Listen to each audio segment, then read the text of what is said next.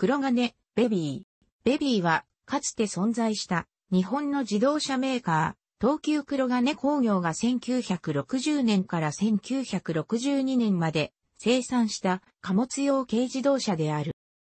1959年11月の全日本自動車ショーで一般公開されたベビーは東急黒金工業初の軽自動車であり、かつての日本でオート、三輪大手三大ブランドの一つとして名声のあった黒金の騎士性を目指す意欲作であった。日本初のリアエンジン方式のキャブオーバー型軽四輪トラックである。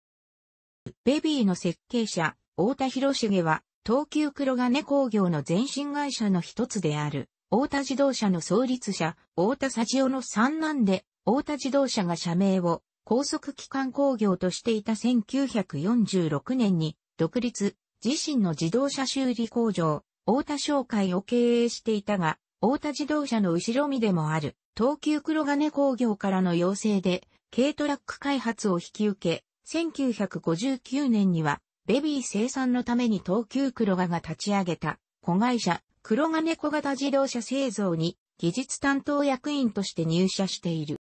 メカニズムにはそれまでの黒金3.4輪トラックとの技術的脈絡は一切なかった。4輪独立サスペンションや縦置き水冷4、ストロークエンジンは最たる特徴で、商用車の5車軸は、化石載に強い固定軸が、セオリー、軽自動車には簡易で高出力を稼ぎやすい空冷に、ストロークが常識化しつつあった当時としては異例な設計であった。交換を部材に使用した低床ラダーフレームを用い、またルーフの一部はキャンバス張りにするなど軽量化、コストダウンにも配慮されている。ボディジャーシの設計やスタイリングには、1957年にヤンマーディーゼル、現、ヤンマーホールディングスからの依頼で、大田博重がエンジン以外を試作開発したキャブオーバーミッドシュレイアウトのディーゼルエンジン系トラック、高年少数が生産されたヤンマーポニーの原型。エンジンはヤンマーの自社開発との共通点が多く見られる。市販型のスタイリングは工業デザイナーの井原和夫が手掛けた。なお、ベビーのエンジン、W 型は戦前からの大田系4気筒サイドバルブエンジンの設計をもとに、大田博重が半分の2気筒へ縮小、排気量設定の変更やオフ化など、大変更を施して開発したもので、ボア、ストロークは 6259mm のオーバースクエアであり、当時のこのクラスのエンジンとしては高出力であった。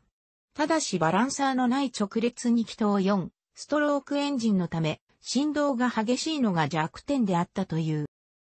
大田博重は1951年以降、高速機関工業、大田自動車工業の下請けとして、自ら経営する大田商会で公営四輪、オートレース用競技車の製作に携わっており、大体 -9 型4気筒 903cc、サイドバルブエンジンをベースに、オフヘッドを搭載したレーシングエンジンを自製していた。したがって、ベビー用エンジンにも、この経験を活かすことができた。当時水冷化に出遅れた小型車クラスの黒金三輪四輪トラックも、やはり、大田引き継ぎの E-13 型4気筒をオフ、エンジンを基本に排気量拡大、または縮小で急場をしのいでおり、かつて小型車用空冷エンジンの名門であった黒金系のパワーユニットは、この時点でほとんど合計である大田系水冷エンジンに役割を置き換えられてしまったことになる。車体バリエーションには普通のトラックであるキャリアー、コロ付けのコマーシャル、コマーシャルに補助席をつけて4人乗りにしたキャンバスワゴン、そして5ドアのライトバンがあった。このようなモデル展開の背景には派生型4座モデルの展開が、サイズ面で難しい KO と三輪に比し、貨客兼用車としての利便性を強く打ち出して対抗す狙いがあった。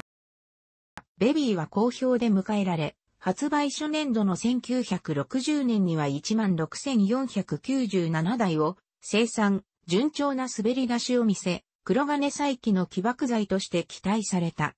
1960年5月にはベビー量産工場として、埼玉県上尾に新工場が開設されている。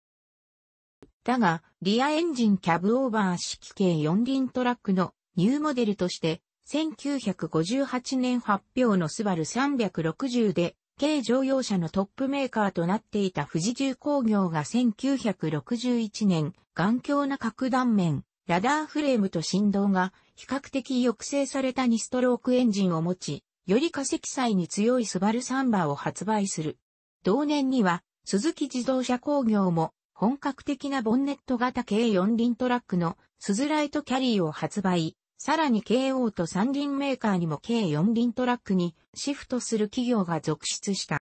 製品の完成度で後発各社に凌駕されたことに加え、ディーラー網の薄さによる脆弱な販売力もあって、競合者に歯が立たなくなり、ベビーの売れ行きは急速に減退した。1962年1月に東急黒金工業は会社構成法の適用を申請、ベビーは生産中止に追い込まれた。東急黒金工業は後に再建を果たし、日産自動車グループのエンジン製作会社、日産後期として今日も存続しているが、ベビーは黒金、大田の血脈を直接受け継ぐ最後の自動車とな。楽しくご覧になりましたら、購読と良いです。クリックしてください。